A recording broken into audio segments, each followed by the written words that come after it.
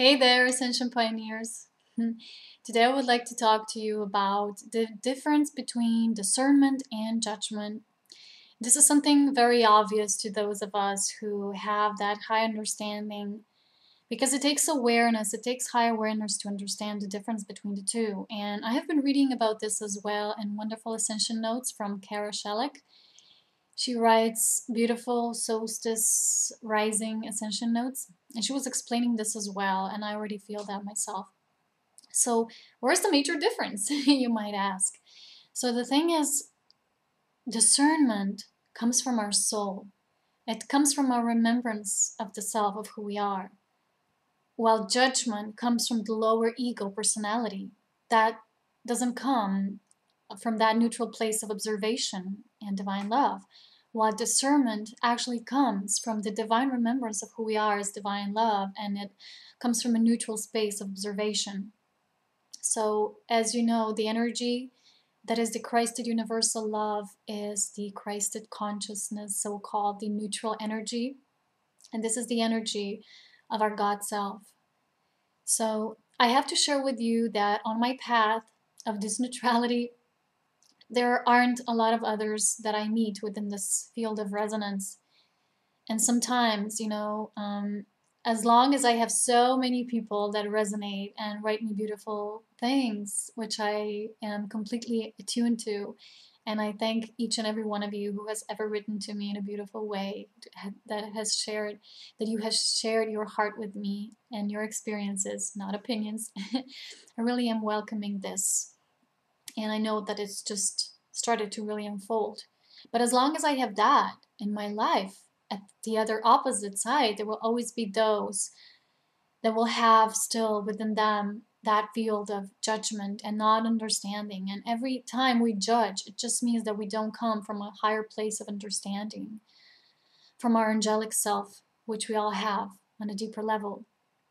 So while we hold this space, well, we can hold it for a longer period of time, not just for an instant, you know, when you feel connected out there in nature or when you can really hold that. That means anchoring your I am presence. And I have been speaking about this in my video, if you have seen it, the I am presence, while I was explaining this.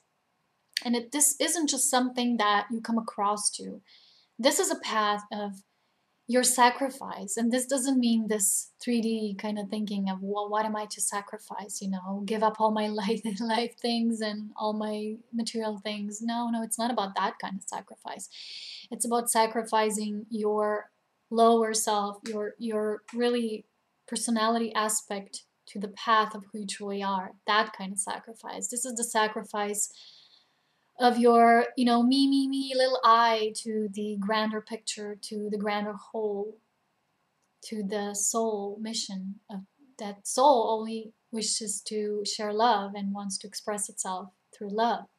So I had many people sometimes say to me, Oh, you do things like that this is not good, this is like that, you know, giving me opinions and um, judging a lot sometimes what I do. Well, in fact, they don't even do anything themselves. My friend always says when we talk, he says, Well, if you judge a certain video, where's your video? Where's your face? You know, like that. Where's your smile? Where's your love contribution?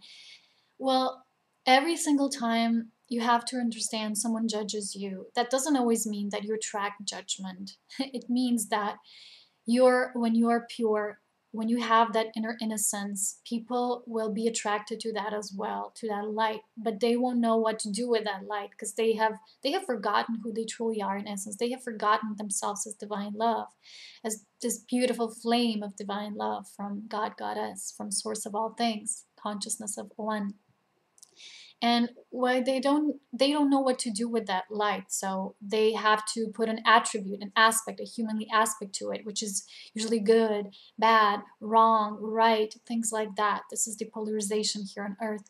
So they feel this tendency to judge because they can't digest what is presented to them from their own inner space. And because they can digest it because their awareness is not high enough they have to project it outwards. And this is often then uh, manifested as judgment and criticism and blame and you know things like that that every one of us on this path is experiencing and um, you can't generalize this you know if you read certain quotes and they say well everything is um, on the outer the same way as it is in the inner. That is true to a certain degree, but while you have even higher understanding, you will see that when you become this pure mirror, you know, think of the example of Jesus. He, when he got those initiations, when he really embodied his divine self, his spirit self, he was still blamed and accused by others, those who did not understand, those who were not yet in tune to their inner God self, those who were unaware that they're children of God god Goddess, at the same time they're it. So he was still blamed, accused, ridiculed. He even said that in the gospel, he said, I am now on this mission and people will they will devour me. They will want to do anything, but I am here to serve this purpose. So it is not always about you attracting this judgment because you judge yourself. It means that you become this pure reflection of everything that is hidden, whether in a situation or an individual, things like that.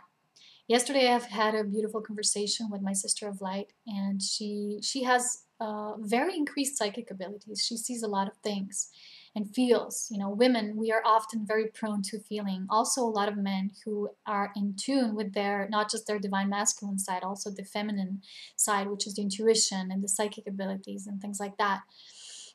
So um, she said, Well, you have this energy now that everything around you will become, you know, everything that was once hidden will come to light.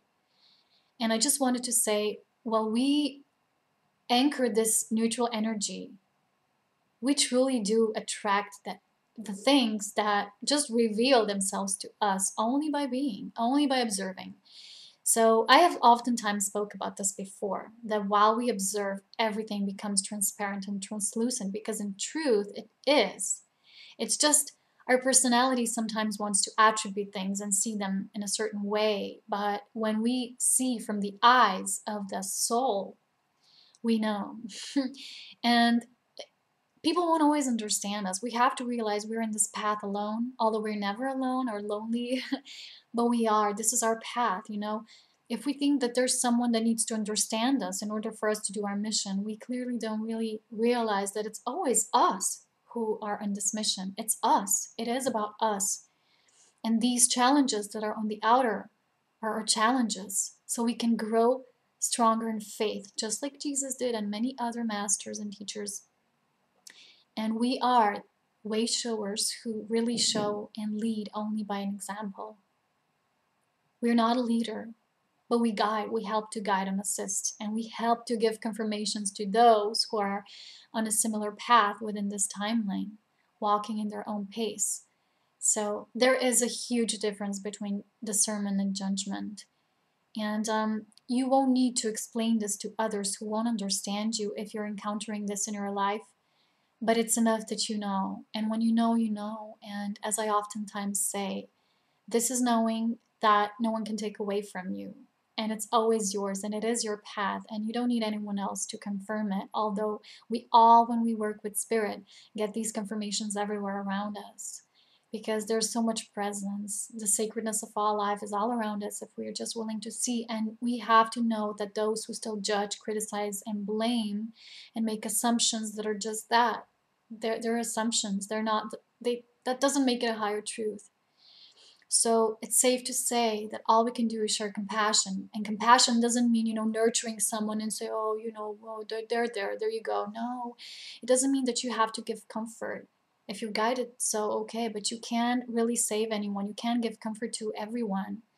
You have to give comfort to yourself and walk your mission of truth. And um, compassion means is, is just another word for high understanding that you always see things from a higher perspective and then hold that space for others. But they we have to understand that they need to go through their own lessons alone. We can't save anyone.